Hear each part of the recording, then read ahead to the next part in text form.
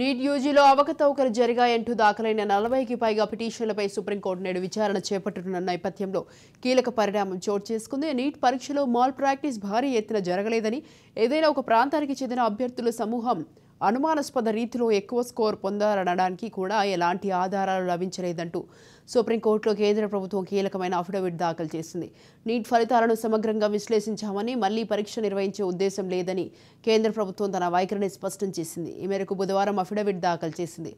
నిరాధారమైన అనుమానాలతో తిరిగి పరీక్ష పెడితే మే ఐదున పరీక్షకు హాజరైన దాదాపు ఇరవై నాలుగు లక్షల మంది విద్యార్థులపై భారం పడుతుందని పేర్కొంది. నీట్ యూజీ కౌన్సిలింగ్ ప్రక్రియను జులై మూడవ వారం నుంచి మొదలు అఫిడవిట్ అఫిడవిట్లో పేర్కొంది.